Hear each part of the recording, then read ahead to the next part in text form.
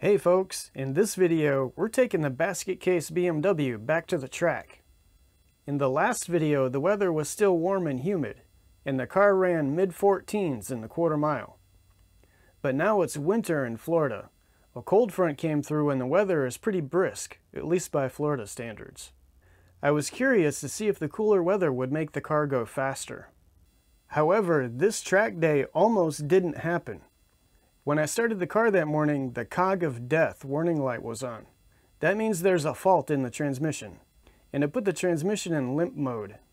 I didn't want to get out the diagnostic equipment and set it up, so I let the engine warm up while I got ready to leave. After a few minutes, I turned it off and turned it back on, and voila, everything was back to normal. So I said YOLO and headed to the track. Unfortunately, I got there a little late. Plus it was a Sunday and the track is super busy on Sundays. So I had to wait a long time to make my first run. While I was waiting, I watched some racing.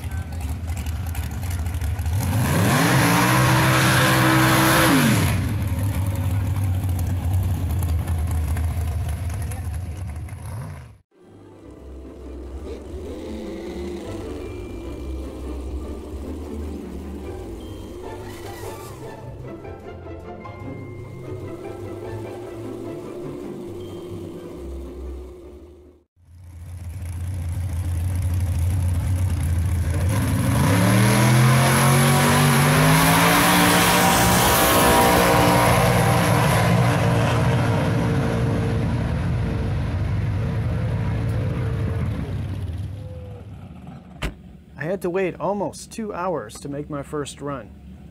There were a lot of racers there and it takes a while to go through all of them. But now it's my turn. Before each run, I spin the tires a little bit to clean any debris off them.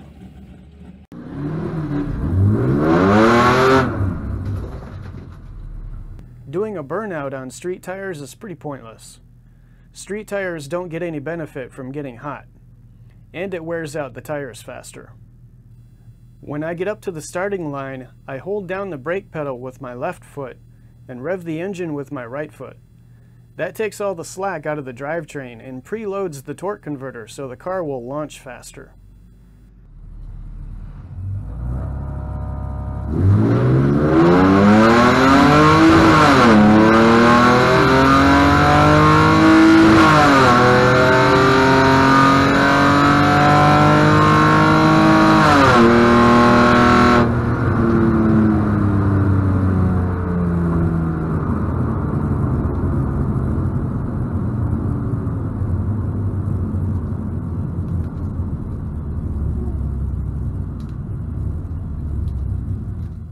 That run felt pretty good. The car ran great, but I was eager to see if it went faster than before.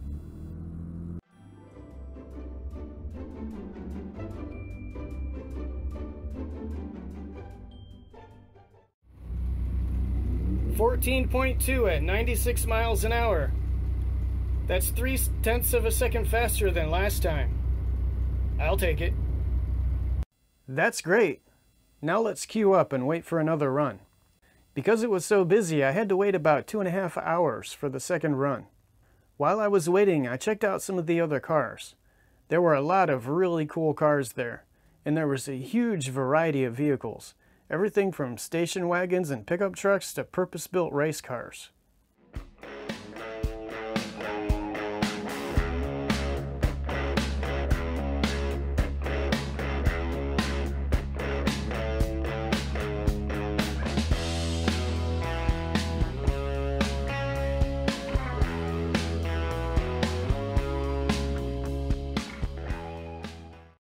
One of those cars was an E36 BMW. This car looks like something out of a Mad Max movie. He installed an LS Series V8 with a turbocharger. He built this car for the Grassroots Motorsports Challenge, so he had a tight budget limit. Also, this 69 Chevelle SS caught my eye.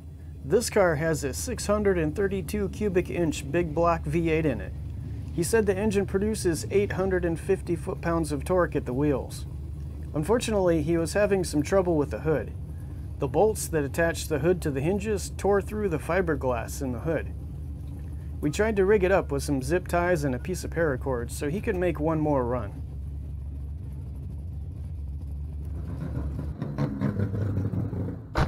Finally, it was time to make my second run. By this time, it was early afternoon and the temperature was warming up, so I didn't think I'd be able to beat my first run. But if I could get close, that would prove the first run wasn't a fluke. Let's see how it goes.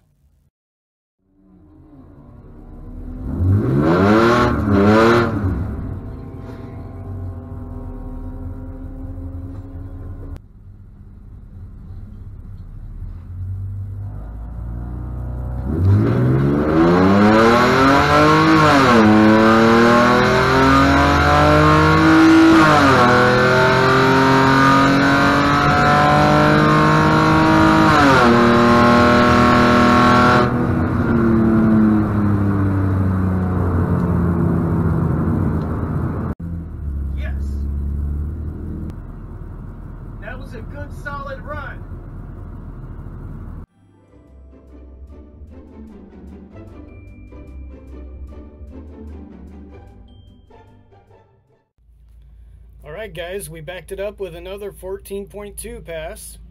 This one is 14.2 at 97 miles an hour. Previous was 14.2 at 96. Not bad. So the second run was a tiny bit faster than the first one. That was a pleasant surprise. So this proves that cooler weather will make the car faster. Also, in the previous drag racing video, I said I wanted to get in the 13s with the stock engine and transmission. But the car is already down to 14.2 seconds, and I didn't do anything to the car. I just had to wait for better weather. So getting in the 13s should be pretty easy.